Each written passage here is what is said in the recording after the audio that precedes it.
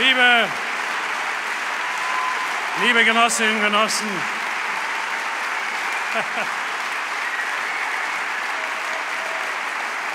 liebe Genossinnen und Genossen, liebe Freundinnen und Freunde, verehrte Damen und Herren, liebe Gäste, danke für diesen überschwänglichen Empfang. Jeder spürt es hier im Saal, genauso wie im Land. Die SPD ist wieder da, wir sind wieder da. Das ist eine gute Nachricht für die Menschen im Lande, in Deutschland. Eine gute Nachricht. Das ist eine gute Nachricht für Deutschland, eine gute Nachricht für Europa und eine gute Nachricht für die Demokratie. Liebe Genossinnen und Genossen, ich bewerbe mich heute um den Parteivorsitz der ältesten Partei in diesem Lande.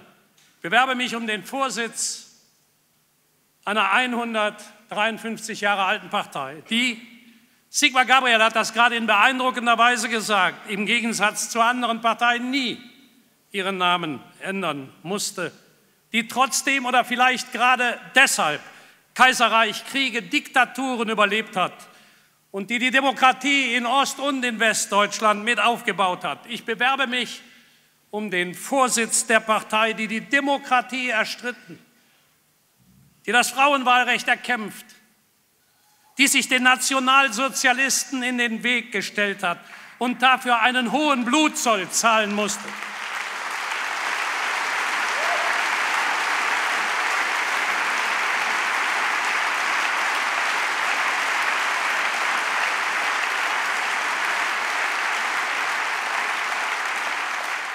bewerbe mich um den Vorsitz einer Partei, die in der DDR verboten war, die unter Willy Brandt in den 70er Jahren das deutsche Bildungssystem fundamental reformiert und zukunftsfest gemacht hat, die dem Terrorismus der 70er Jahre die Stirn geboten hat, ohne dabei die Liberalität in unserem Lande aufzugeben, die unser Land vor der Beteiligung an einem völkerrechtswidrigen Krieg im Irak bewahrt hat.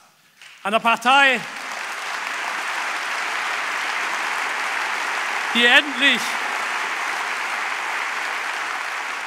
einer Partei, die endlich auch den Mindestlohn in Deutschland eingeführt hat. Ich könnte das fortführen und die Aufzählung ist nicht abschließend, aber generell, liebe Genossinnen und Genossen, liebe Gäste, kann man eines sagen, wann immer die Freiheit in Deutschland bedroht oder Reformen notwendig waren, wenn es darum ging, gleiche Rechte für Mann und Frau oder für Minderheiten zu erstreiten, wenn es darum ging, die Gewerkschaftsrechte zu verteidigen oder die betriebliche Mitbestimmung auszubauen, wenn die Familien gestärkt und die Chancengleichheit verbessert wurde, wenn es galt, den sozialen Frieden herzustellen, dann musste das unsere stolze Partei hinbekommen, dann musste das die SPD tun. Ich freue mich sehr, dass in den letzten Wochen 13.000 neue Mitglieder zu uns gekommen sind. Menschen, die zu einem großen Teil wieder den Weg zu uns zurückgefunden haben. Und viele, viele junge Menschen, die dafür brennen, dass wir dieses Land gemeinsam besser machen und euer Enthusiasmus, liebe Genossinnen und Genossen, die ja neu in die Partei gekommen seid, wir spüren das ja auch heute hier in diesem Saal, euer Enthusiasmus steckt uns alle an und wird uns in den nächsten Monaten begeistern.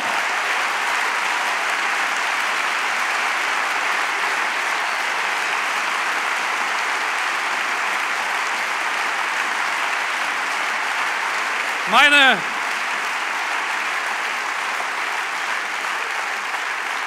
Meine Botschaft an die jungen Männer und Frauen, die zu uns gekommen sind, ist die, ihr seid nun Teil einer Familie.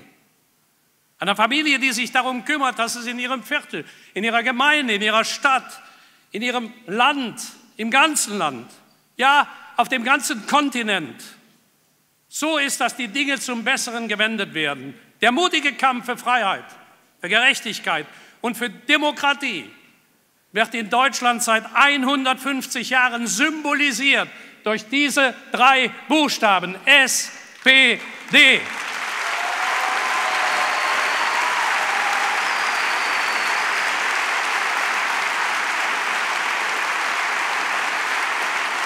Liebe,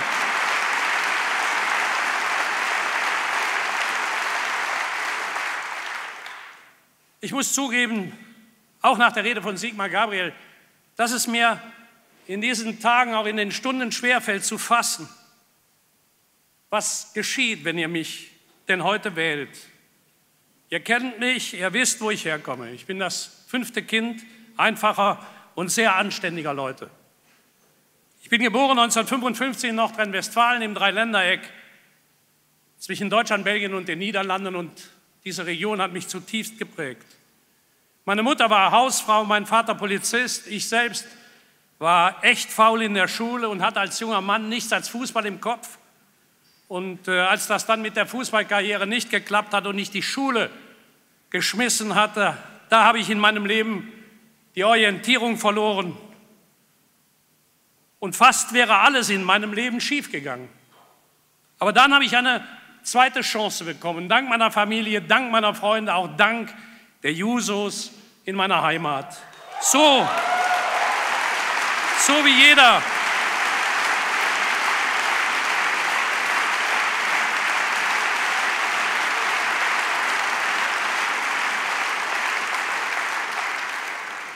Ein paar von denen sind heute hier, aber die haben graue Bärte. Also das, äh so wie jeder, liebe Genossinnen und Genossen, der ins Stolpern gerät oder aus der Bahn geworfen wird, eine zweite Chance bekommen sollte. Meine zweite Chance war, ich habe mich in Bücher reingefressen, habe eine Ausbildung gemacht als Buchhändler, ich habe mich politisch engagiert, wie gesagt, bei den Jusos, später als einfacher Stadtverordneter. Ich bin schließlich mit jungen Jahren Bürgermeister geworden und ich bin in dieser Funktion zweimal wiedergewählt worden. Ich habe eine kleine Buchhandlung gegründet, die es heute noch gibt, die von einer früheren Auszubildenden übernommen worden ist, die sie heute immer noch erfolgreich führt. Ich bin dann ins Europaparlament gewechselt. Ich war dort 22,5 Jahre Abgeordneter. Ich war acht Jahre Vorsitzender der sozialistischen Fraktion und in den letzten fünf Jahren der Präsident des Europäischen Parlaments. Ich habe in diesem Amt versucht, Europa demokratischer, effektiver und sichtbarer zu machen. Und vor allen Dingen eins, zu jeder Zeit klare Kante zu zeigen gegen diejenigen, die dieses Einigungswerk abwickeln wollen. Die finden in mir einen energischen Gegner.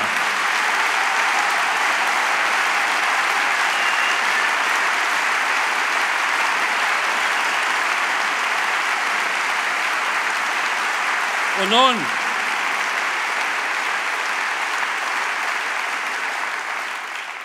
und nun stehe ich hier vor euch.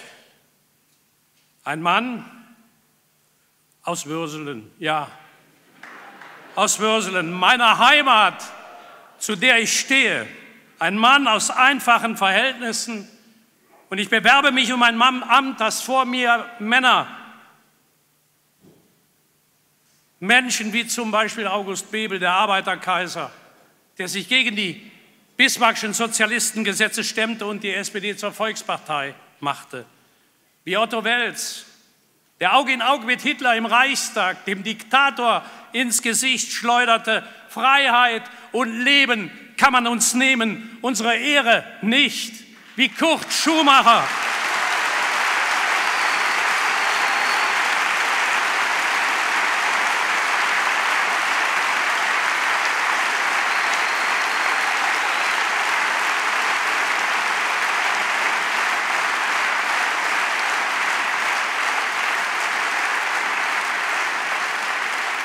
wie Kurt Schumacher, der von den Nazis im KZ gefoltert und gequält wurde und der trotz massiver Beeinträchtigungen mit einer eisernen Disziplin und oft unter schweren Schmerzen engagiert beim Aufbau eines demokratischen Deutschlands mitgeholfen hat. Ja, und wie Willy Brandt, ein Jahrhundertpolitiker, der selbst verfolgt für die deutsche Nation auf die Knie fiel und um Verzeihung bat für die Verbrechen der Nazis. Und der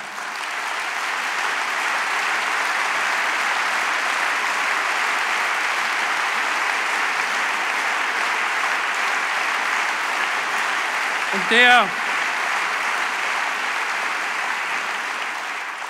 der für seine Entspannungspolitik mit dem Friedensnobelpreis ausgezeichnet wurde. Wie viele andere hier bin ich wegen Willi in die SPD gegangen.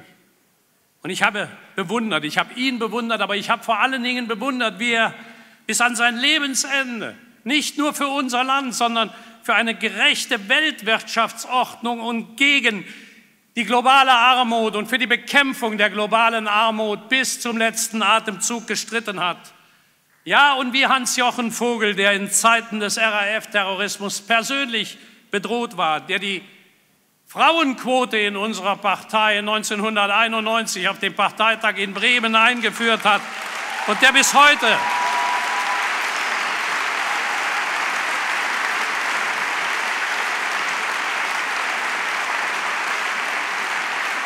der bis heute für uns alle ein guter, ein weiser Ratgeber ist, Hans Jochen.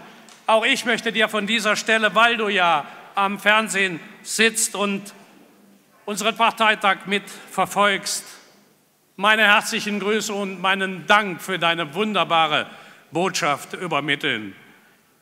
Wie Gerhard Schröder, Genossinnen und Genossen, der sich von ganz unten zum Regierungschef hochgerackert hat und dabei niemals seine Herkunft vergaß, der Deutschland so reformierte, dass wir alle heute noch davon profitieren und der anders als manche, die heute Verantwortung in diesem Land tragen, ein mutiges Nein gegen den Irakkrieg im Namen unserer Partei und im Namen Deutschlands ausgesprochen hat.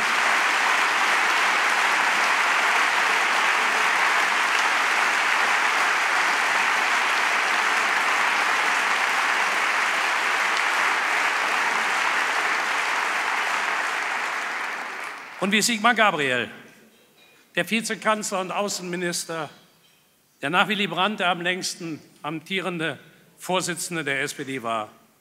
Stolzer Vater dreier Töchter, mein enger und guter Freund. Lieber Sigmar,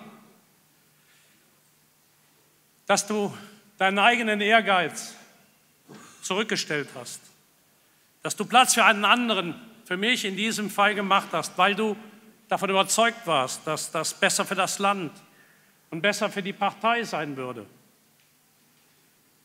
Sigmar, das ist eine große politische, aber es ist vor allen Dingen eine große menschliche Leistung, die zeigt, was für ein besonderer Charakter du bist. Dich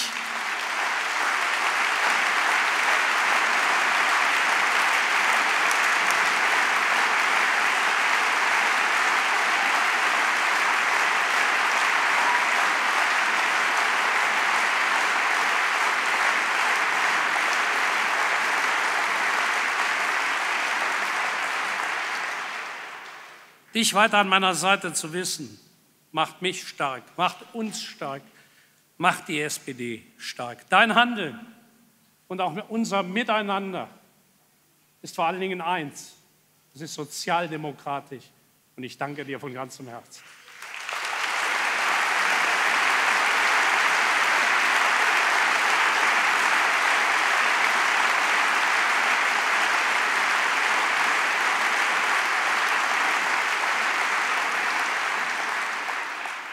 Bewerbe mich also um ein Amt, das diese großartigen Menschen vor mir inne hatten. Ihr könnt mir glauben,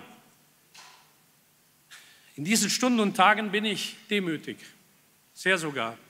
Wenn diese Rede vorbei sein wird, wenn wir gewählt und damit entschieden haben werden, dann, Genossinnen und Genossen, wollen wir loslegen. Denn wenn wir nicht dafür sorgen, dass es in diesem Land gerechter zugeht, dann wird das niemand anderes machen. Wer in diesem Land, wer in diesem Land hart arbeitet, sei es als Selbstständiger oder als Arbeitnehmer oder als Arbeitnehmerin, wer sich engagiert, wer für die Eltern oder für die Kinder da ist, wer sich in diesem Land abrackert und an die Regeln hält, der hat unseren Respekt verdient. Ich habe den Respekt vor der Lebensleistung der Menschen in unserem Land. Und es ist die Sozialdemokratische Partei Deutschlands, die dafür sorgen muss, dass jeder einzelne Mensch, jeder Mann, jedes Kind, jede Frau im Mittelpunkt unseres Denkens steht und im Mittelpunkt unseres Handelns. Ich möchte, dass der einzelne Mensch Respekt bekommt.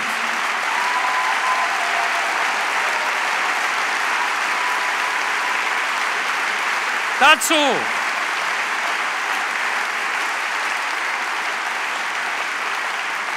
Dazu gehört natürlich, dass wir endlich Schluss machen mit dem Lohngefälle in Deutschland. Dass wir gleichen Lohn für gleiche Arbeit zahlen. Es ist doch ein Skandal.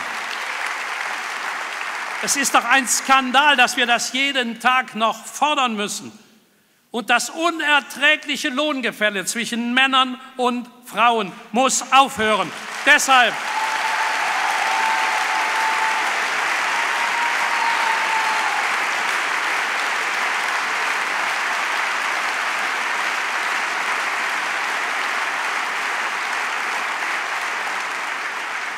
Deshalb bleiben wir hart bei der Forderung gleicher Lohn für gleiche Arbeit am gleichen Ort für Männer und Frauen gleichermaßen in Ost und in West. Dafür werden wir in den nächsten sechs Monaten kämpfen und das werden wir in diesem Lande gemeinsam mit den Gewerkschaften durchsetzen. Und ich freue mich, dass die Gewerkschaften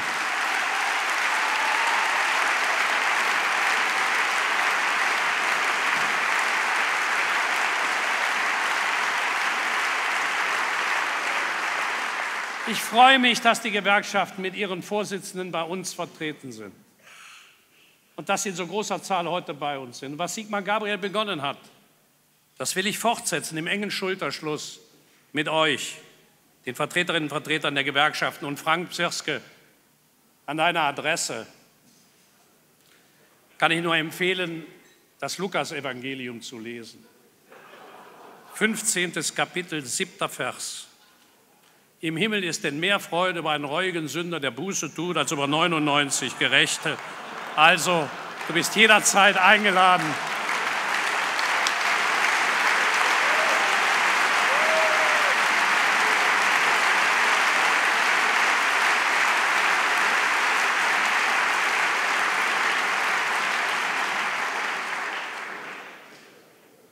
Gilt auch für dich. Neumitglieder, Neumitgliederanträge liegen vorne aus für die Gewerkschaftsvorsitzenden, die noch nicht bei uns sind. Liebe Genossinnen und Genossen, das ist kein Scherz.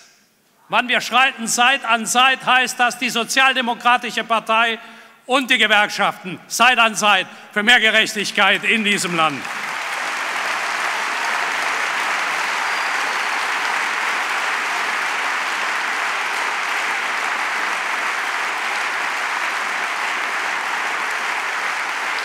Wir wollen loslegen. Wir wollen loslegen und den gleichen Lohn für gleiche Arbeit. Aber ich bin auch einig mit Polizistinnen und Polizisten in Deutschland, die wir mehr unterstützen müssen, damit wir die Alltagskriminalität wirksamer bekämpfen können, etwa bei Wohnungseinbrüchen, die das Unsicherheitsgefühl von Menschen verstärken. Und wir müssen die Feuerwehr und die Rettungskräfte stärker unterstützen, die, die jeden Tag unterwegs sind, um Menschenleben zu retten und die dabei leider immer häufiger selbst in Gefahr geraten. Diese Leute, die für unsere Sicherheit, für unseren Schutz, die oft auch für unser Überleben im Einsatz sind, die haben mehr Respekt und unseren besonderen Schutz verdient. Ich finde es daher gut, liebe Genossinnen und Genossen, Ich finde es gut, dass Heiko Maas ich finde es gut, dass Heiko Maas ein entsprechendes Gesetz vorgelegt hat, damit Angriffe auf Polizisten, Feuerwehrleute und Rettungsdienste härter bestraft werden. Auf meiner Reise habe ich mit Feuerwehrleuten, mit Rettungsdiensten, mit Polizeibeamtinnen und Polizeibeamten gesprochen. Und ich kann es nicht verstehen, dass wir als Gesellschaft zulassen, dass Leute, die zu einem Rettungseinsatz fahren, dort behindert werden. Das zeigt, wir brauchen mehr Zusammenhalt und wieder mehr Respekt in dieser Gesellschaft. Das ist das, wofür wir streiten müssen.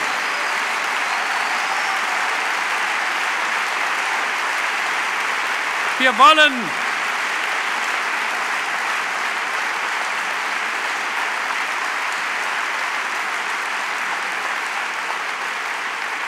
Wir wollen die Rente sicher machen und dass die, die ein ganzes Leben lang gearbeitet haben, auch ordentlich im Alter in Würde davon leben können. Es sind doch die Alten gewesen, die Deutschland aufgebaut haben und zu dem wunderbaren und lebenswerten Ort gemacht haben, der unser Land heute ist. Dafür haben sie Dank, Respekt und Anerkennung verdient.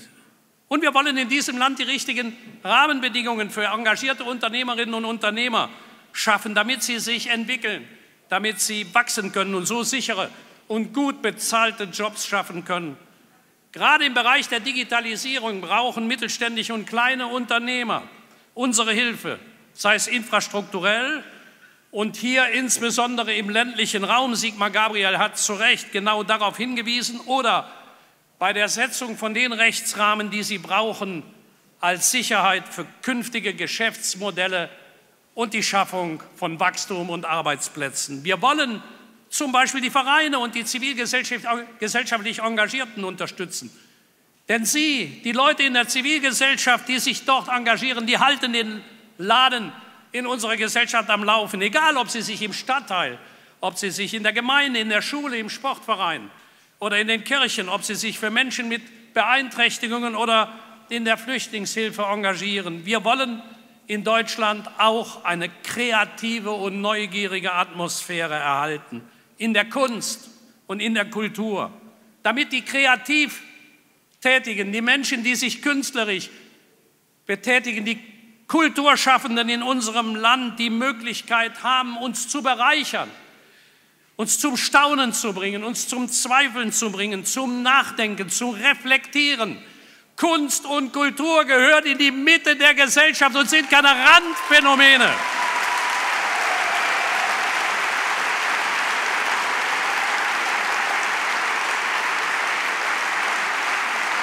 Liebe,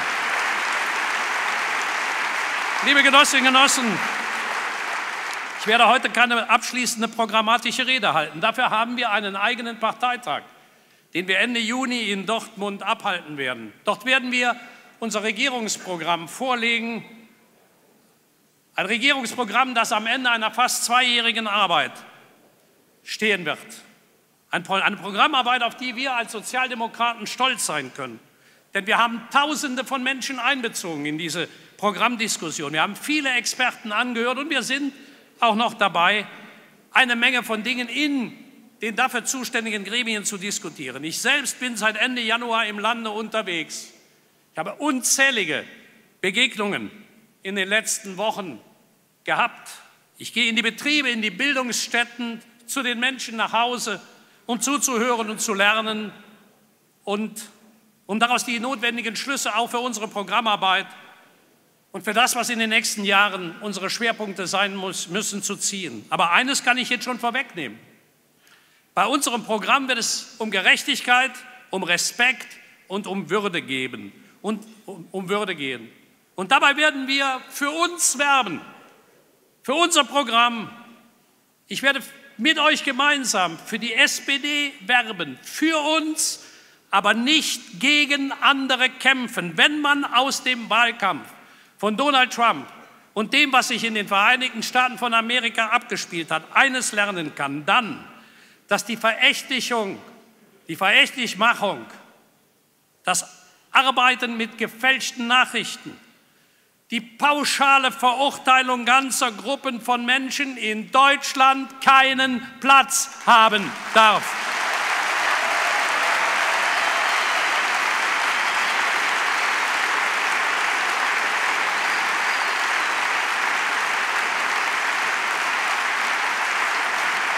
Wir, Genossinnen und Genossen, wir sind nicht die besseren Menschen. Wir Sozis sind nicht die besseren Menschen. Und die anderen Demokraten in dieser Gesellschaft sind nicht der Feind. Im Gegenteil, im Idealfall ist der Wahlkampf eine Sternstunde der Demokratie. Und deshalb ganz klar, mit mir wird es keine Herabwürdigung des politischen Wettbewerbers geben. Wenn andere einen anderen Weg wählen, dann bin ich sicher, wird es am Ende die Entscheidung der Wählerinnen und Wähler sein, darüber ein Urteil zu fällen.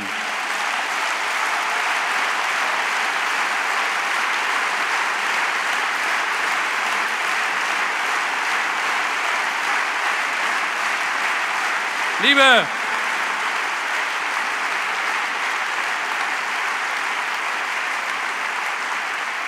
Liebe Gäste, liebe Freundinnen und Freunde, in unserer Gesellschaft hat sich etwas verändert, etwas Bedeutendes.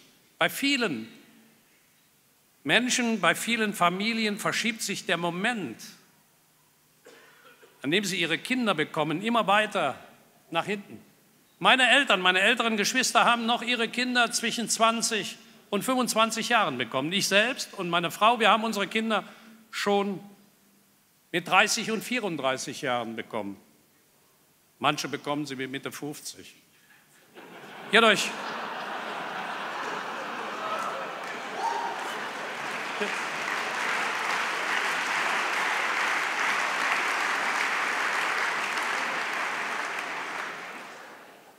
Hierdurch entsteht eine neue Herausforderung. Denn diese Eltern sind, wie wir alle, beruflich enorm belastet und herausgefordert. Gleichzeitig müssen sie sich aber noch um ihre Kinder kümmern, die zu Hause sind, noch in der Ausbildung sind, noch zur Uni gehen. Oder auf der anderen Seite sind die Eltern aber teilweise schon so alt, dass sie zuwendungs-, teilweise pflegebedürftig sind.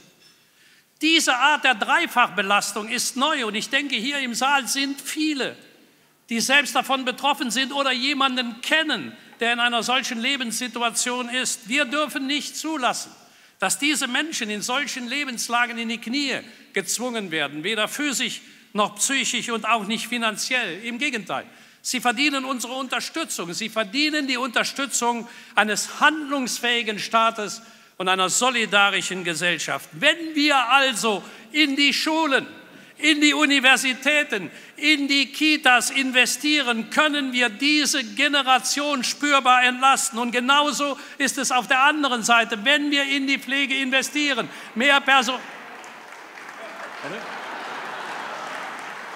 Was ist los? Ach so.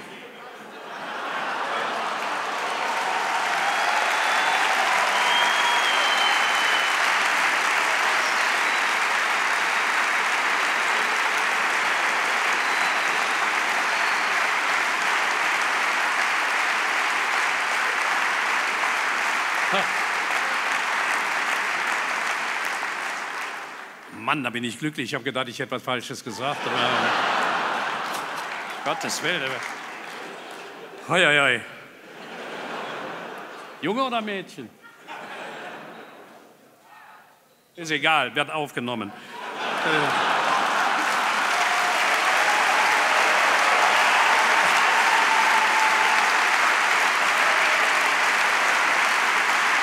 Liebe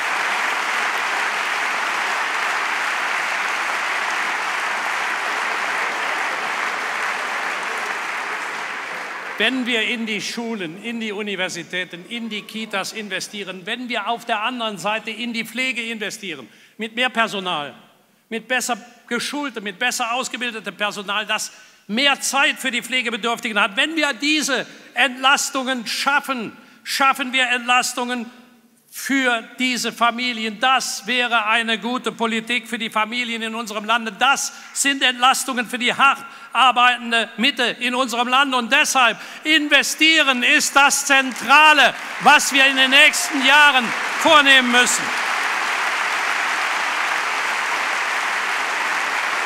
Ich habe auf meinen Reisen ich habe auf meinen Reisen ich habe auf meinen Reisen gesehen, dass es in all diesen Bereichen viel zu verbessern gibt, sehr viel.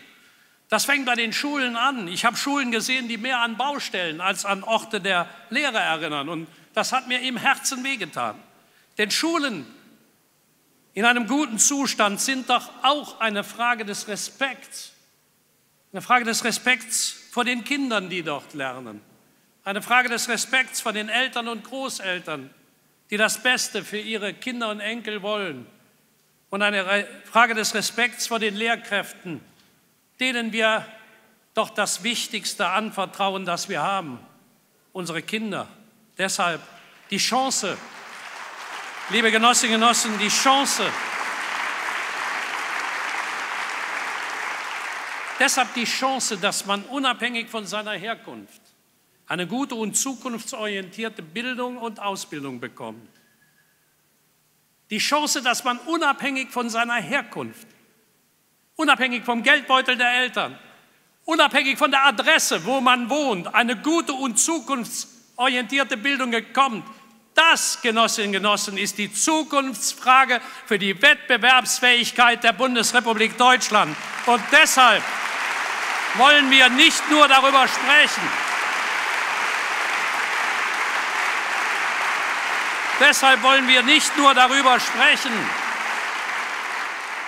wie wichtig das ist, sondern wir wollen konkrete Maßnahmen beschließen. Konkrete Maßnahmen. Wir, die Sozialdemokratische Partei Deutschlands, wollen dass Bildung gebührenfrei wird, von der Kita bis zum Studium und nicht nur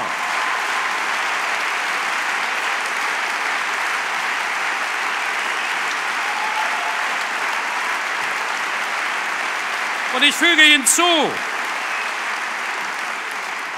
und ich füge hinzu, wir wollen, dass Bildung gebührenfrei wird von der Kita bis zum Studium, allerdings nicht nur bei der und ausschließlich bei der Kita, bei den Hochschulgebühren. Das gilt auch für die berufliche Bildung bei Meister- und Berufsausbildungskursen. Auch die müssen gebührenfrei sein.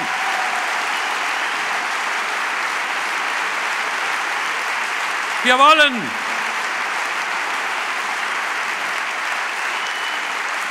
Wir wollen, wir wollen, dass es für wir wollen, dass es für die, die es wünschen, einen Rechtsanspruch auf Plätze an Ganztagsschulen gibt. Und das fängt schon, liebe Genossinnen und Genossen, das fängt schon ganz früh an. Ein Resultat dessen, was ich auf meiner Reise erlebt habe, in den Gesprächen mit vielen, vielen Menschen, übrigens etwas, was ich in meinem eigenen Stadtviertel bei mir zu Hause in Würseln erlebe, wenn ich mit meinen Nachbarinnen und Nachbarn diskutiere. Ich höre dann von vielen Familien, dass für sie die Probleme mit der Einschulung der Kinder losgehen. Bis dahin waren die Kinder in der Kita. Aber auf einmal stehen sie mittags vor der Türe, ohne Mittagessen und mit einem Ranzen voller Hausaufgaben. Auch deshalb, für die, die es wollen, wollen wir einen Rechtsanspruch auf Ganztagsbetreuung in der Grundschule einführen.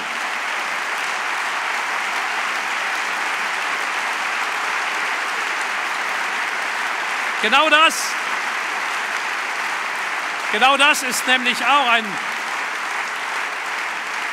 genau das ist nämlich auch ein Element bei der Vereinbarkeit von Familie und Beruf der Eltern und von mehr Chancengleichheit für die Kinder. Und wir wollen, dass Bildung inklusiv ist, denn Bildung bedeutet Würde, egal ob jemand beeinträchtigt ist oder nicht. Wir wollen, dass der Bund sich an der Sanierung und Modernisierung der Schulen beteiligt. Und wir wollen, dass der Bund die Länder bei der Schulsozialarbeit nachhaltig unterstützt. Über die Mittel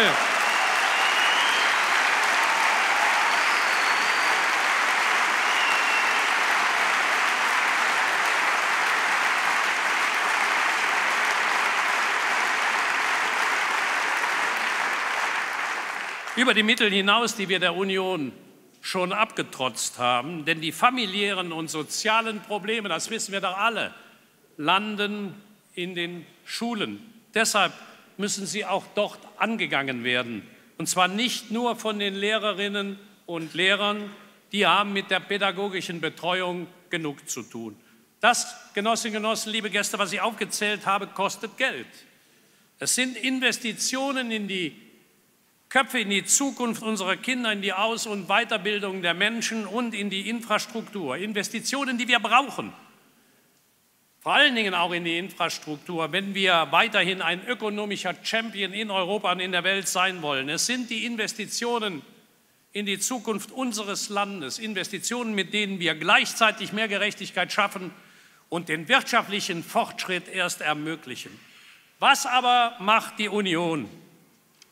Ganz eindeutig ist das nicht, weil sich ja weder CDU noch CSU noch die CDU intern einig sind. Aber einiges von dem, was Sie vorhaben, deutet sich bereits an. Ein alter Wahlkampfschlager wird aufgewärmt.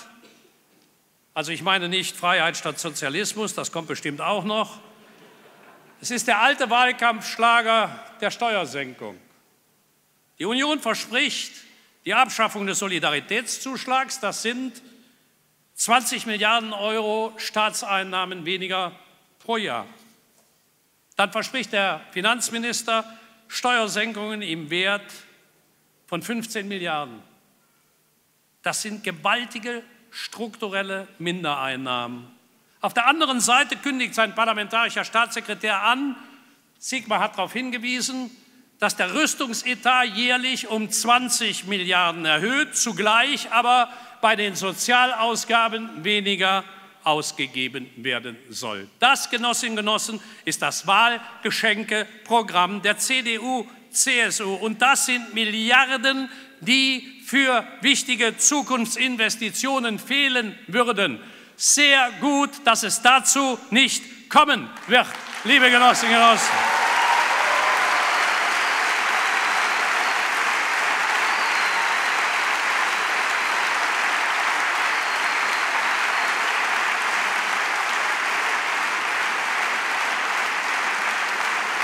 Diese Pläne sind extrem ungerecht.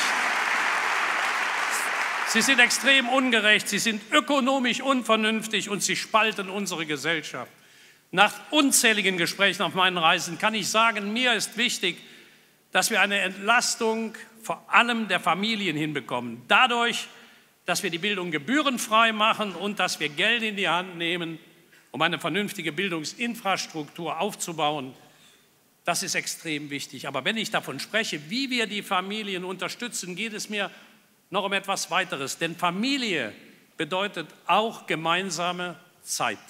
Gemeinsame Zeit, für die angesichts der gewachsenen Anforderungen an jeden Einzelnen im Arbeitsleben oft kein Raum mehr vorhanden ist. Deshalb müssen wir eine Antwort dafür finden, wie die Familien mit der Dreifachbelastung, Erziehung der Kinder, Betreuung der Eltern und Erfolg im Beruf, wie sie damit fertig werden, wie sie das hinbekommen können. Damit sprechen wir also über das Thema Zeit, konkret darüber, wie wir eine größere Flexibilität ermöglichen, um die genannten Anforderungen unter einen Hut zu bekommen.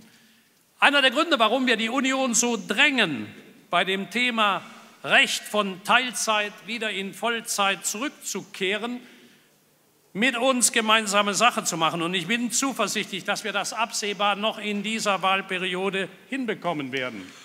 Und darüber hinaus habe ich mit unserer großartigen Familienministerin Manuela Schwesig ein Konzept der Familienarbeitszeit diskutiert, durch das Familien gestärkt werden sollen. Wir brauchen eine Familienarbeitszeit und dieses Konzept wird Manuela Schwesig für unsere Partei in den nächsten Wochen vorstellen. Liebe Genossinnen und Genossen, zum Respekt Zum Respekt gehört auch, dass wir nicht zulassen, dass ältere Arbeitnehmerinnen und Arbeitnehmer trotz hoher Qualifizierung Angst haben müssen, aus dem Arbeitsmarkt zu fallen. Daher habe ich mit Andrea Nahles und Olaf Scholz darüber nachgedacht, wie wir das verhindern können. Denn wer beispielsweise heute mit 55 Jahren arbeitslos wird, der hat unter Umständen noch zwölf weitere Jahre zu arbeiten. Und das sind oft hochqualifizierte Männer und Frauen, deren Berufsbilder sich mit der Zeit geändert haben. Diese Leute dürfen wir doch nicht so einfach aufgeben. Deshalb haben wir vorgeschlagen, unsere Arbeitsmarktpolitik weiterzuentwickeln. Worum, es, worum geht es dabei? Es geht nicht, Genossinnen und Genossen, um Vergangenheitsbewältigung oder um eine Debatte, die 14 Jahre her ist. Nein, es geht um eine zukunftsgerichtete Fortschreibung unserer Reformpolitik. Einen entscheidenden Schritt haben wir dabei in dieser Wahlperiode bereits umgesetzt auch wenn sich die Union dagegen gewehrt hat und so mancher Lobbyverband den Untergang des Abendlandes prognostiziert hat. Wir haben den Mindestlohn eingeführt und so Hunderttausenden ein besseres Einkommen und damit eine bessere Rente ermöglicht.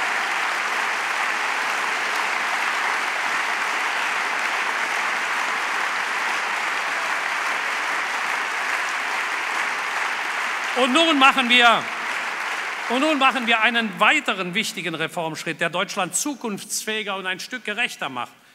Denn hatten wir zu Beginn des vergangenen Jahrzehnts fünf Millionen Arbeitslose, so herrscht heute ein zum Teil dramatischer Facharbeitermangel.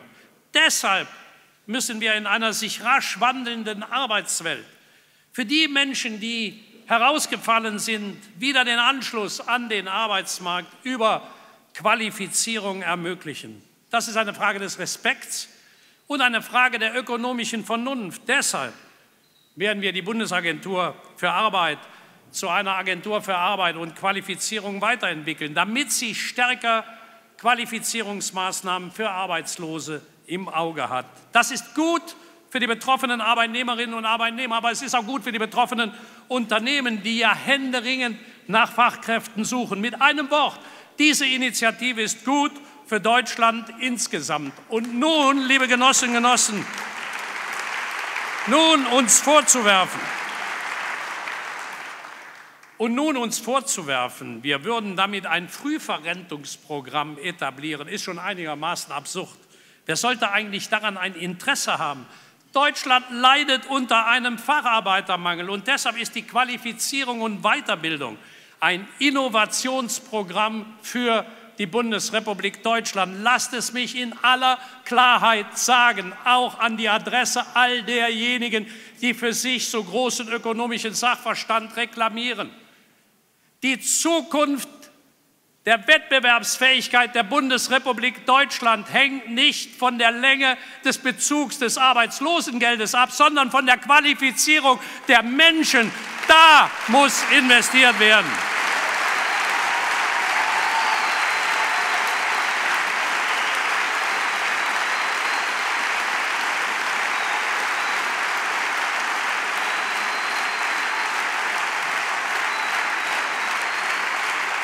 Und wir werden weitere Konkretisierungen bei unserem Programmprozess, wir werden bei dem Programmprozess weitere Konkretisierungen vornehmen. Die Befristung von Arbeitsverträgen ohne sachlichen Grund muss auf den Prüfstand gestellt werden.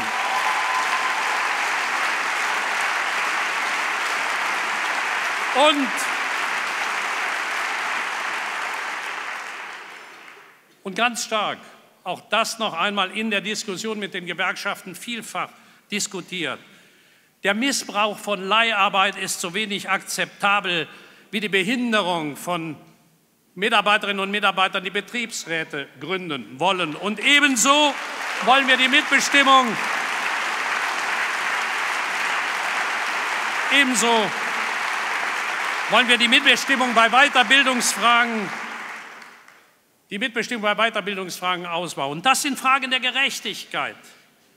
Und deshalb werden wir an diesen Fragen arbeiten und kämpferisch herangehen. Und all die Maßnahmen, die ich skizziert habe, sind Zeichen einer solidarischen und intakten Gesellschaft, einer Gesellschaft, in der sich die Menschen gegenseitig helfen und in der wir in Gemeinschaft stark sind. Das ist das Gegenteil von dem, was der ökonomische Mainstream in den letzten Jahrzehnten versucht hat, uns einzubläuen, nämlich dass, wenn jeder für sich selbst sorgt, am Ende für alle gesorgt ist. Diese Logik hat sich zu einem Deregulierungswahn weiterentwickelt, der durch seine Staatsverachtung zwischenzeitlich sogar demokratiegefährdend ist. Denn wenn bei der Polizei, bei den Schulen, bei der notwendigen Instandhaltung der Infrastruktur nicht die notwendigen Mittel zur Verfügung stehen, dann verlieren die Menschen das Vertrauen in das Gemeinwesen, weil Sicherheit, faire Bildungschancen und eine funktionierende Infrastruktur wesentliche Gerechtigkeitsfragen sind. Es ist da klar, Reiche können sich einen schwachen Staat leisten, denn sie kaufen sich ihre Bildung Sie kaufen sich ihre Sicherheit, im Zweifel privat. Und im Zweifel leben sie auch in Parallelwelten, die über eine eigene funktionierende Infrastruktur verfügen. Es ist aber eine gemeinschaftliche Aufgabe, diese öffentlichen Güter zur Verfügung zu stellen. Und zwar nicht nur in den Ballungsräumen und Metropolen, sondern überall im Lande und insbesondere im ländlichen Raum, in den Dörfern, in den kleinen Städten. Und deshalb reise ich so viel.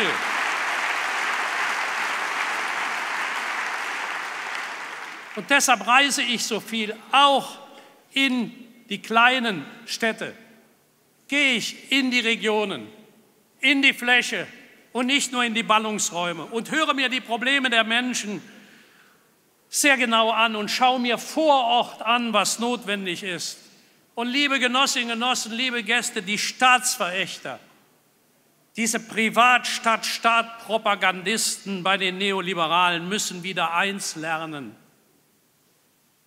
Soziale Gerechtigkeit ist kein Begriff aus dem Lehrbuch des Klassenkampfes, sondern es ist eine grundlegende Bedingung für eine freie und fortschrittliche Gesellschaft, für ein Gemeinwesen, in dem wieder alle ihre Chance bekommen und respektiert werden. Ich will mal, liebe Genossinnen und Genossen, ich will mal Meinhard Miegel zitieren.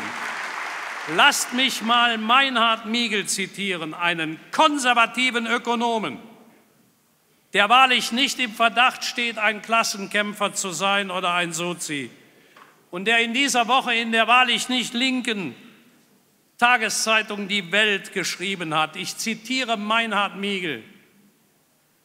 Während beachtliche Teile der Bevölkerung schon seit langem Einschränkungen hinnehmen müssen, ist es einer Minderheit bisher nicht nur gelungen, sich diesem Trend zu entziehen, sondern sie hat im Gegenteil ihren Vorsprung in mitunter geradezu obszöner Weise ausgebaut. Was von dieser Minderheit an Einkommen und Vermögen zusammengetragen wird, geht weit über das hinaus, was in der bekannten Geschichte als sittlich und gemeinschaftsverträglich angesehen worden ist.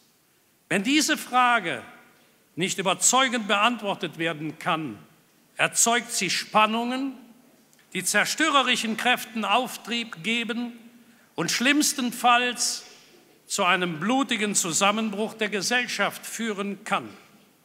Soweit das Zitat eines konservativen Ökonomen in der Bundesrepublik Deutschland.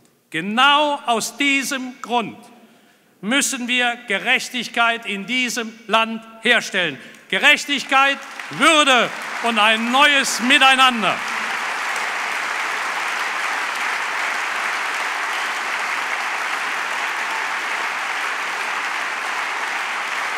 Ich bin davon überzeugt, liebe Freundinnen und Freunde, dass eine Gesellschaft gerechter ist, in der soziale Sicherheit existiert. Eine Gesellschaft, in der soziale Sicherheit existiert, ist auch widerstandsfähiger. Nicht so anfällig für die einfachen Botschaften der Verführer, die inzwischen ja weltweit ihr Unwesen treiben. Denn wenn man die Nachrichten sieht, sieht man täglich, dass unsere Demokratie, unsere Art zu leben zunehmend unter Druck gerät. Da ist Einerseits die Herausforderung durch den internationalen Terrorismus, menschenverachtende Mörder, die die Religion als falsche Rechtfertigung für ihr zynisches Geschäft missbrauchen. Diese Leute wollen unsere Gesellschaften destabilisieren, indem sie Bomben werfen und Angst und Schrecken verbreiten. Weltweit sind tausende Unschuldige diesen Verbrechern zum zum Opfer gefallen. Viele Muslime darunter, vor allem aber Frauen, Kinder und Alte. Der sogenannte Islamische Staat hat diesen Krieg nach Europa getragen, indem er hier bei uns und in anderen Ländern Europas furchtbare Anschläge begangen hat. Hier darf es kein Pardon geben. Und wir werden beweisen, dass unsere Demokratie wehrhaft ist und sich zu verteidigen weiß, ohne dass wir dabei unsere Freiheit und unsere Offenheit aufgeben. Dabei setzt sozialdemokratische Sicherheitspolitik nicht nur auf den Ausbau der Sicherheitsbehörden und auf das Strafrecht, das sicher auch, sondern wir wollen auch präventiv tätig sein. Denn die meisten Täter, das müssen wir einfach zur Kenntnis nehmen, sind junge Menschen, die sich bei uns radikalisiert haben. Das ist eine Herausforderung, der wir uns alle stellen müssen. Und hier sind auch die Religionsgemeinschaften, die Schulen, die Familien gefragt, aufmerksam darauf zu achten, wenn sich junge Menschen in die Hände dieser gewissenlosen Verbrecher begeben. Wir sind ein Land, liebe Genossinnen und Genossen, mit einer auf starken Grundrechten aufgebauten Verfassung. Wer die ersten 20 Artikel unseres Grundgesetzes liest, der hat eine fantastische Anleitung, wie ein friedliches und ein respektvolles Zusammenleben, das den Zusammenhalt der Gesellschaft garantiert und die Grundrechte eines jeden Einzelnen zugleich wie ein solches Zusammenleben möglich ist. Wer aber unter dem Deckmantel der Religionsfreiheit, die garantiert ist, auch in diesen 20 Artikeln, wer unter dem Deckmantel der Religionsfreiheit auf der anderen Seite elementare Grundrechte unserer Verfassung in Frage stellt, Ich zitiere einmal ein solches Grundrecht. Artikel 3 Absatz 2 unseres Grundgesetzes. Männer und Frauen sind gleichberechtigt. Wer unter dem Deckmantel der Religionsfreiheit diese unveräußerliche Garantie in Frage stellt, hat nicht nur den energischen Widerstand der Sozialdemokraten zu erwarten, er hat in diesem Lande keinen Platz und nichts verloren.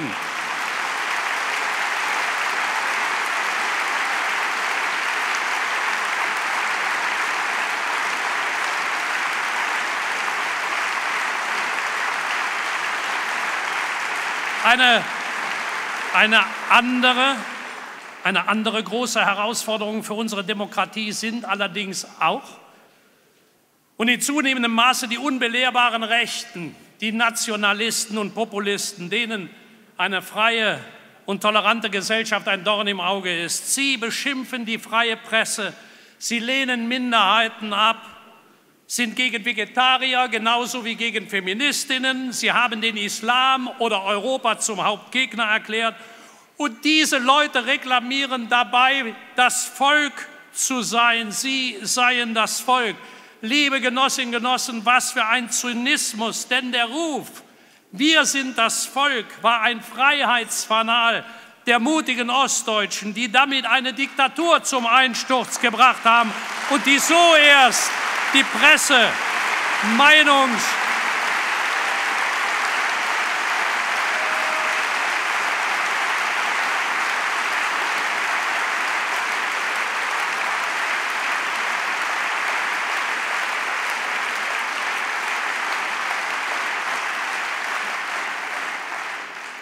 Die haben eine Diktatur zum Einsturz gebracht und so erst die Presse, Meinungs- und Religionsfreiheit für Millionen Menschen in Ostdeutschland erkämpft.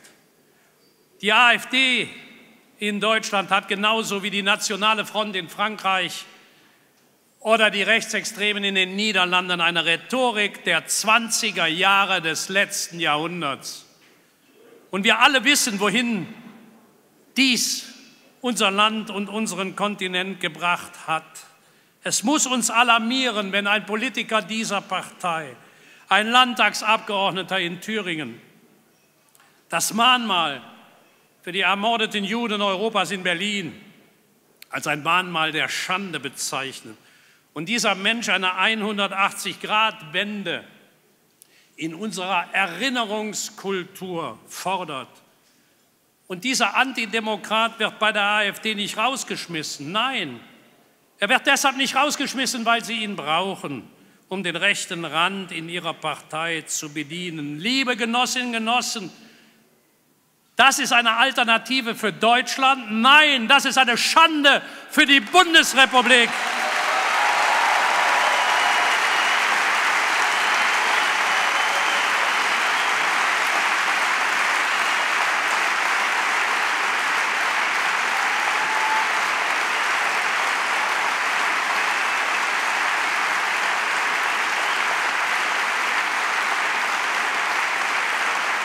Dieselbe, dieselbe Partei, dieselbe Partei schließt die freie Presse von ihren Versammlungen aus. Wer aber sagt, Informationen bekommt nur, wer schreibt, was ich will, wer Medienvertreter als Lügenpresse stigmatisiert, wenn sie das nicht tut, Der, Genossinnen und Genossen, legt die Axt an die Wurzeln der Demokratie. Hier sind hunderte Journalistinnen und Journalisten. Liebe Genossinnen und Genossen, hier sind hunderte Journalistinnen und Journalisten. Dieser Parteitag steht zu Recht unter einer enormen medialen Aufmerksamkeit. Die Männer und Frauen, die hier über uns berichten, die schreiben, die kommentieren, die kritisch hinterfragen, die analysieren, haben nicht nur das Recht dazu, nein, es ist unsere Pflicht, dafür zu sorgen, dass sie es tun können, eine freie und unabhängige Berichterstattung, ein kritisches Hinterfragen derjenigen, die die Macht haben oder der, die sie anstreben, ist ein elementarer Bestandteil einer demokratischen Gesellschaft. Wer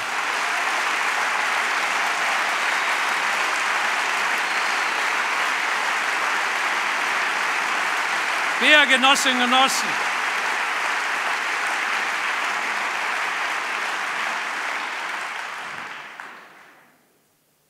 klar ist das schwer, der Umgang mit den Medien. Und wenn ich morgens äh, die Zeitung aufschlage, dann habe ich den Kaffee manchmal auch schon auf, bevor ich ihn getrunken habe. Ich glaube, das geht uns allen so. Aber ich wiederhole, deren Arbeit ist für die Demokratie von elementarer Bedeutung. Und wer die freie Berichterstattung als Lügenpresse bezeichnet, wer selektiv mit Medien umgeht, legt die Axt an die Wurzeln der Demokratie, ob er der Präsident der Vereinigten Staaten ist oder ob er in einer Pegida-Demonstration mitläuft. Beides ist nicht akzeptabel.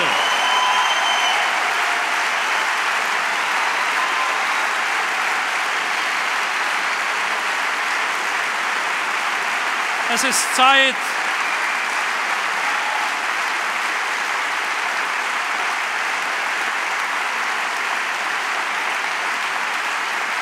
Es ist Zeit,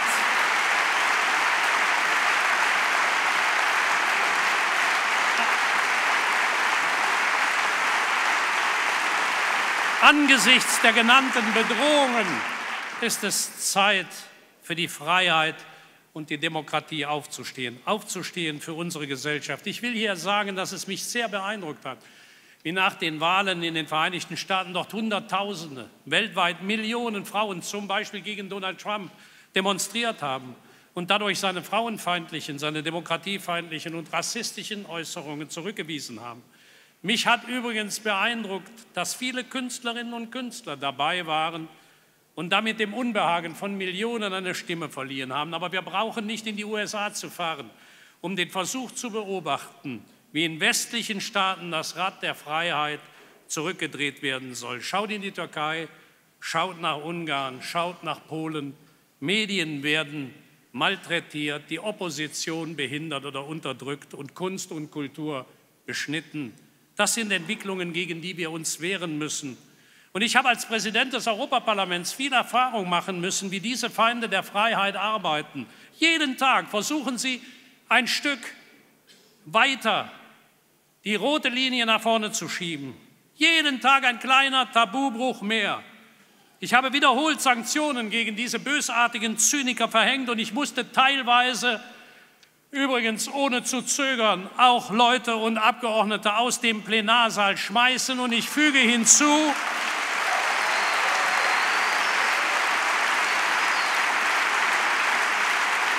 dass ich als Vorsitzender unserer Partei ich füge hinzu, dass ich als Vorsitzender unserer Partei daran anknüpfen werde. Ich sage, ich glaube im Namen aller, die hier sind, euch, den Feinden der Freiheit und der Demokratie, euch, die ihr jeden Tag versucht, ein Stück mehr die Tabus zu brechen, euch, die ihr jeden Tag ein Stück frecher gegen unsere Demokratie werdet. Ihr habt in der SPD den entschiedensten Gegner, den man in diesem Land haben kann.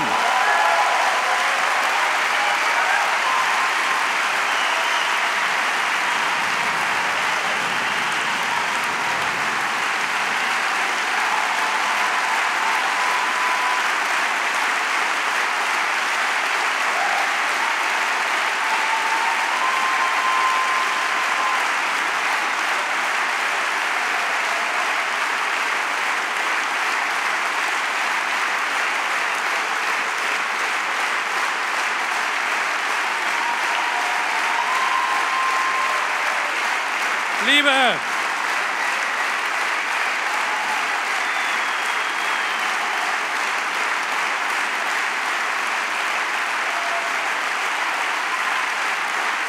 liebe Genossinnen und Genossen,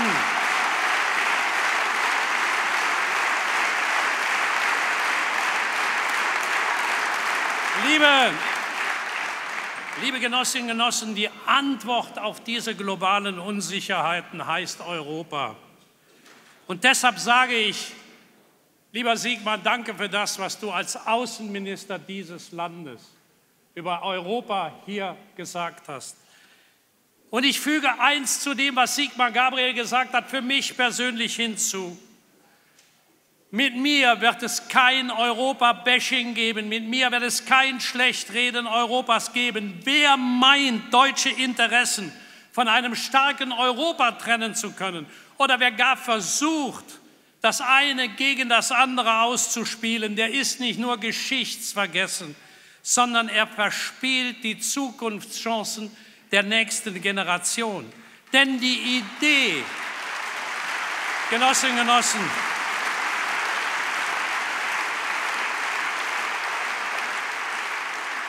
die Idee der Kooperation der Völker über Grenzen hinweg, dass sie sich zusammenschließen für Frieden, für Freiheit, für unsere gemeinsame Sicherheit und für den Wohlstand der Menschen. Das ist die Idee von Europa. Welche Bedeutung dieses Europa für Deutschland hat, hat Willy Brandt 1971 treffender als jeder andere formuliert. Ich zitiere Willy. Durch Europa kehrt Deutschland heim zu sich selbst und den aufbauenden Kräften seiner Geschichte. Deshalb, Genossinnen und Genossen, weil Willi das so beschrieben hat, wir kehren durch Europa heim zu uns selbst, zu den aufbauenden Kräften unserer Geschichte. Deshalb ist die Einladung in dieses Europa, die uns unsere Nachbarn nach dem Ende des Zweiten Weltkrieges aussprachen, das größte Geschenk, das die Bundesrepublik in ihrer noch jungen Geschichte erhalten hat. 1950, 51 war diese Bundesrepublik ein halbes, dreiviertel Jahr alt. Und der Zweite Weltkrieg war fünf Jahre beendet. Das ist die Distanz zwischen 2012 und jetzt.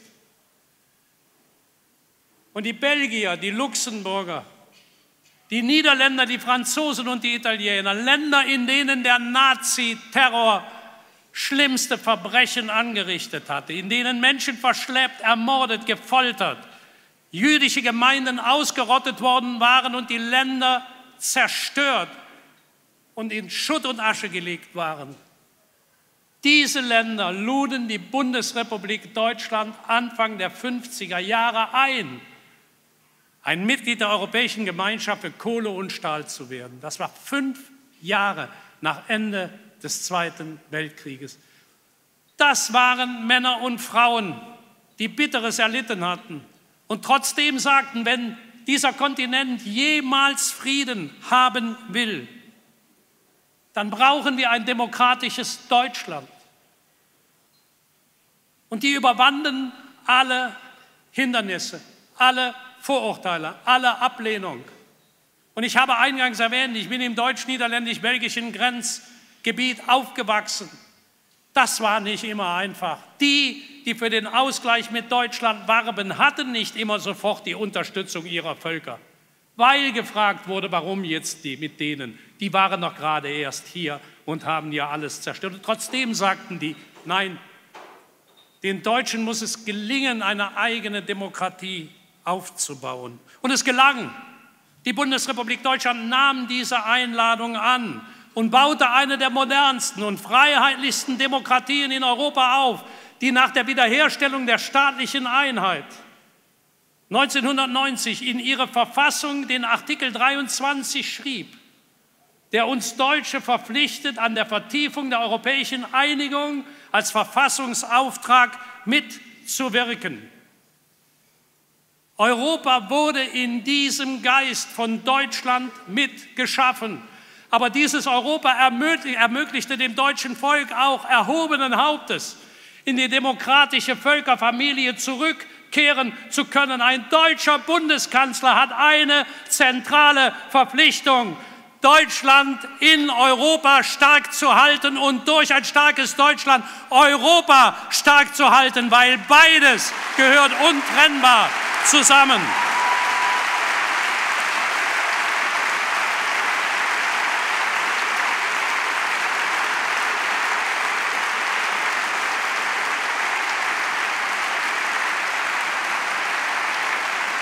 Europa wurde auf dem Geist Europa wurde auf dem Geist der Kooperation, des Dialogs, des gegenseitigen Respekts und der Solidarität aufgebaut. Und diesen Geist gilt es, weiß Gott, wieder zu beleben. Und es gilt ihn insbesondere wieder zu beleben im Umgang mit den Flüchtlingen, die nach Europa kommen. Es ist doch ganz klar, dass wir diese enorme Herausforderung nur in der Gemeinschaft aller europäischen Völker und Nationen lösen können und ganz sicher nicht durch nationalstaatliche Alleingänge. Deshalb, auch dafür will ich mich einsetzen, für klarere Absprachen unter den europäischen Staaten, aber auch und das sage ich in aller Offenheit, für eine konsequentere Linie gegenüber den Ländern, die von Europa enorm profitieren und Solidarität bekommen. Aber wenn es um die Solidarität mit Flüchtlingen geht, nein, danke sagen, das ist nicht akzeptabel.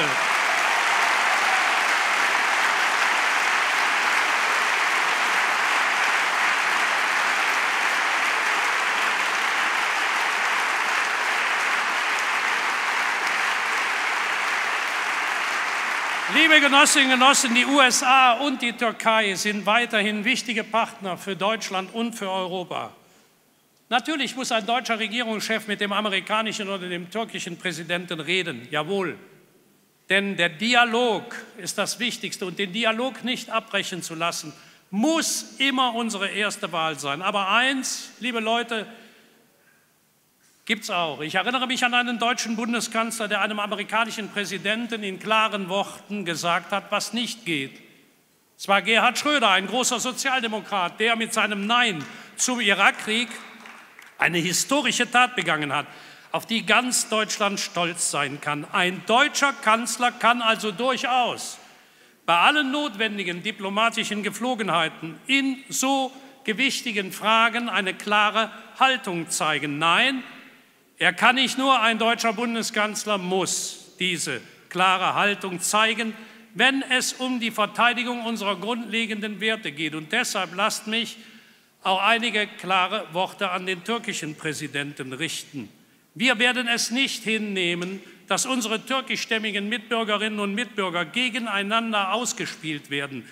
Wir dürfen auch nicht hinnehmen, dass sie durch Nazi-Vergleiche gegen andere deutsche Mitbürger aufgehetzt werden. Das gilt übrigens nicht nur für Deutschland, das gilt auch für andere Länder in Europa. Wer versucht, Menschen gegeneinander aufzuhetzen, dem muss Einhalt geboten werden. Deshalb muss man auch Herrn Erdogan mit klaren Worten sagen, deshalb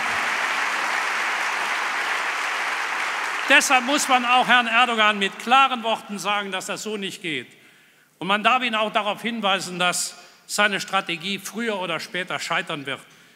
Die Türkei ist so gespalten wie seit Jahrzehnten nicht mehr. Und in dieser Situation muss es doch auch in diesem Lande darum gehen, das Land zu einen und die Menschen zusammenzuführen. Das ist doch die eigentliche Aufgabe eines Staatsoberhauptes, sein Volk zusammenzuführen und die Menschen zu einen. Und das ist die Botschaft, die wir an ihn richten sollten, die Botschaft, die wir nach Ankara schicken sollten. Wir wollen eine faire, wir wollen eine sachliche Auseinandersetzung, aber wir wollen nicht, dass Menschen gegeneinander aufgehetzt werden, weder in ihrem Land noch bei uns.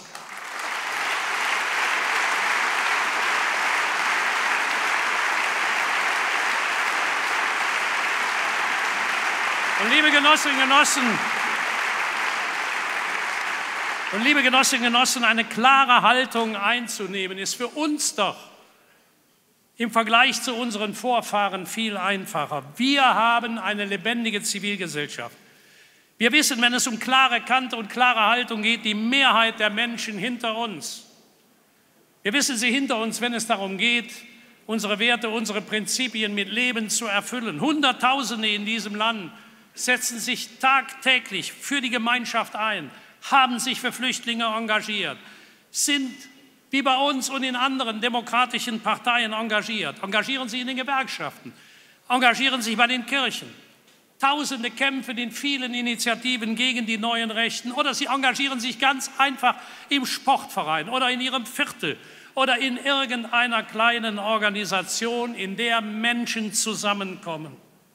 Was wir Sozialdemokraten leisten müssen, ist mit einem Satz zu beschreiben. Wir müssen der Bündnispartner dieser Menschen sein. Genossinnen Genossen, die Menschen in diesem Lande, die müssen eins spüren.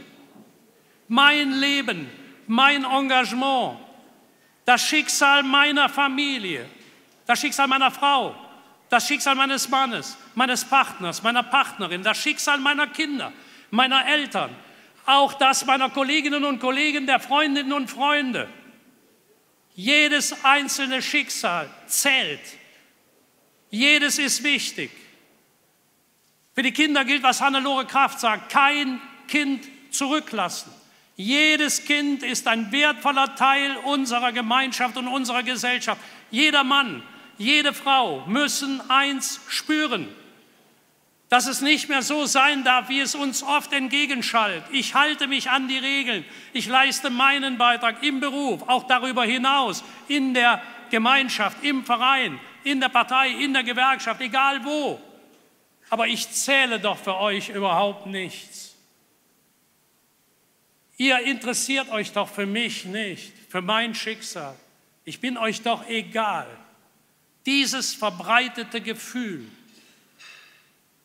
ist gefährlich für die Demokratie. Wir Sozialdemokraten wie keine andere Partei sind aufgefordert, diesen Menschen zu sagen, nein, am Anfang eines jeden Handelns, am Anfang eines jeden Denkens, eines jeden Konzepts, einer jeden Entscheidungsfindung in unserer Partei steht eine Überlegung, wie machen wir, die SPD, mit dem, was wir tun, das Leben genau dieser Menschen jeden Tag ein kleines Stück besser, wenn die Menschen spüren, die meinen das ernst. Und wenn wir es ernst meinen, und das tun wir, dann gewinnen wir das Vertrauen der Menschen in die Demokratie und in unsere Partei zurück. Und dann, Genossinnen und Genossen, gewinnen wir auch die Bundestagswahl. Davon bin ich fest überzeugt. Ich, liebe Genossinnen und Genossen, ich werbe. Ich werbe um euer Vertrauen.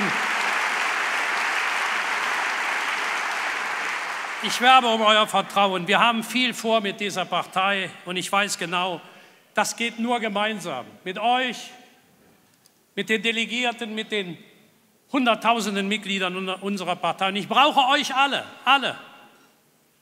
Ihr, die in den Kommunalvertretungen, in den Landtagen oder im Bundestag arbeitet, ihr Genossinnen und Genossen, die in den Ortsvereinen und Abteilungen, wo ihr eure, eure Abende opfert, eure Freizeit, um etwas für die Gemeinschaft zu tun.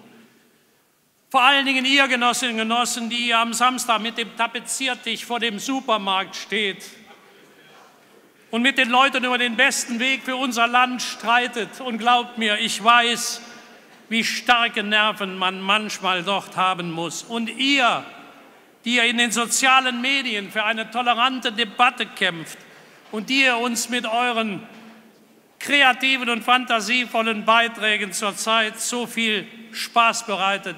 Ich brauche eure Unterstützung und ich bitte euch um euer Vertrauen, nicht nur heute, ich bitte um euer Vertrauen ab heute und solange ich dieses Amt, so ihr die mich denn wählen wollt, ausübe. Und lasst mich eines hinzufügen. Ich trete an, um der Parteivorsitzende dieser stolzen Partei zu werden. Ich bewerbe mich zugleich mit diesem Amt des Parteivorsitzenden darum, euer Kanzlerkandidat zu werden. Ich trete mit einem klaren Anspruch an.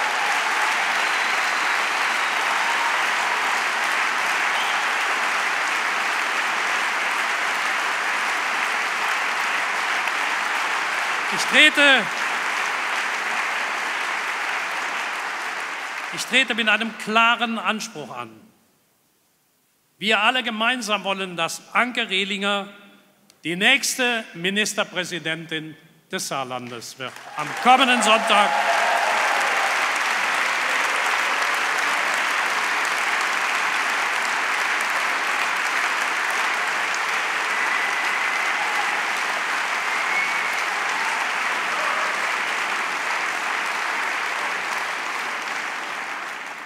Wir wollen, dass Thorsten Albig seine erfolgreiche Arbeit als Ministerpräsident des Landes Schleswig-Holstein fortsetzen kann.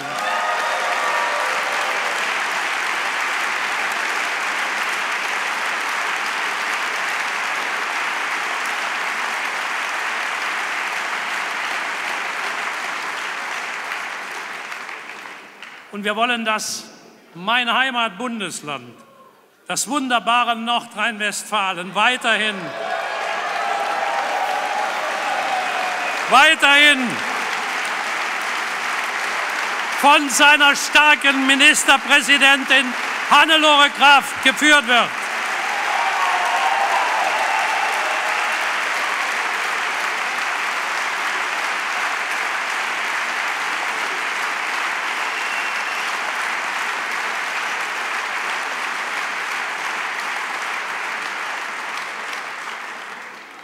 Wir wollen,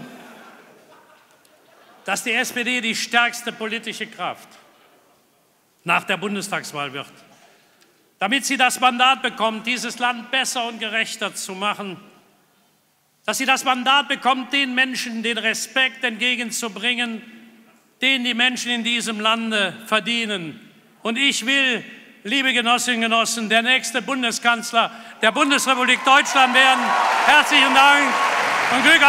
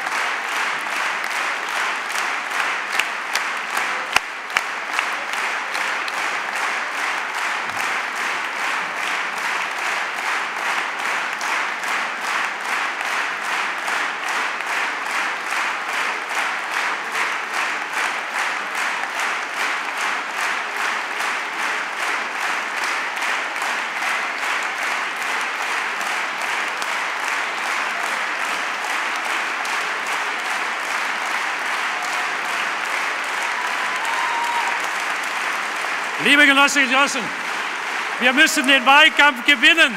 Setzt euch hin. Vielen Dank.